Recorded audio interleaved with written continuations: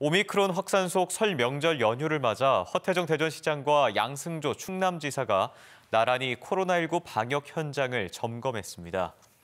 허 시장은 먹는 치료제인 팍스로비드를 판매하는 약국을 찾아 판매 현황을 살피고 보건환경연구원도 방문해 지역 간 이동이 증가하는 연휴 동안 확산세 차단을 위한 신속한 진단 검사 등 비상 대응 체계를 점검했습니다.